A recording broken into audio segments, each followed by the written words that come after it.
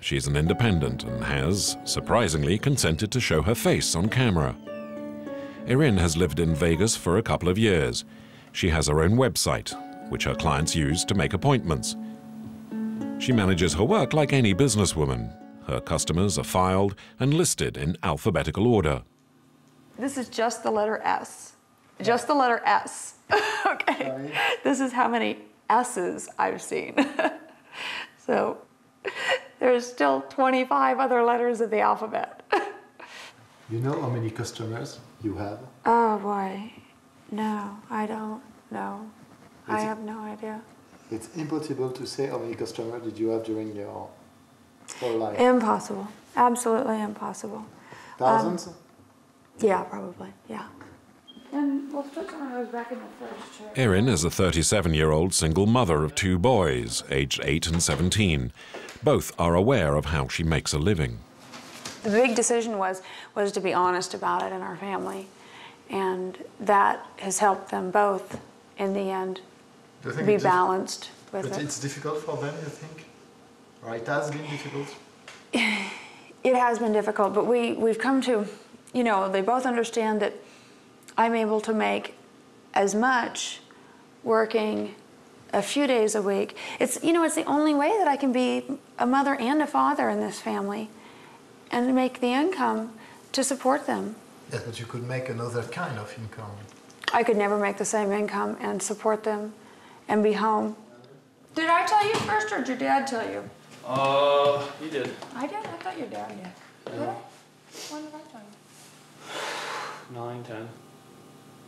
But it wasn't the full thing. It was just like told me a little bit about it and Huh? enough for me. And what was your first reaction? Uh, Your first impression? I didn't really know what it was. I was just like, okay, you talk to people, Mhm. cool, and then that was about it. Yeah. I didn't really understand it.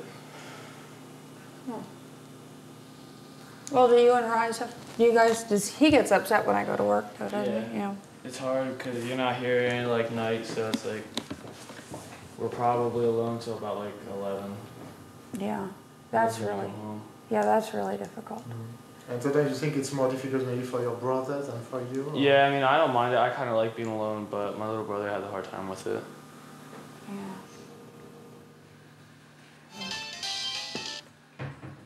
Hello? A customer is on the phone. Hi there, how are you? Erin sets up an appointment two hours later in one of the city's largest casino you guys need to hotels. Okay, okay, okay. Do I need to bring any stuff in my suitcase? Okay, that sounds great. I'll see you at six. Okay, bye bye.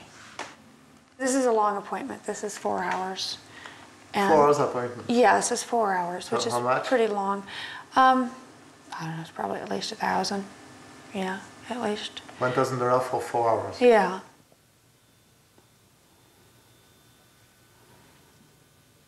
Erin dresses discreetly with not too much makeup. She doesn't want to draw the attention of the police or hotel security. My clients appreciate that too, a lot more, because um, they don't want to be, they would like to go out with me. They would like to take me to dinner. And they want you to look like a girlfriend. a girlfriend to bring along. I'd like to bring these because often you'll bring out these. When she's working, Erin always brings a small case in which she keeps sexy clothes and an array of gadgets.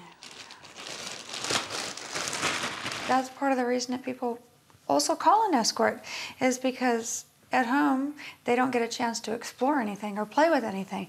And so this gives them lots of ample opportunity to explore things that maybe they wouldn't try. Three outfits later. Erin is now ready to go. Business. But complete. No shoes. Her constant worry is being picked up by the police and not being able to look after her kids. Let it go. Am I right? He hasn't been for walk today either. Yes, he has. Has he? No. Oh, you She's actively involved in the campaign to legalize prostitution. Oh,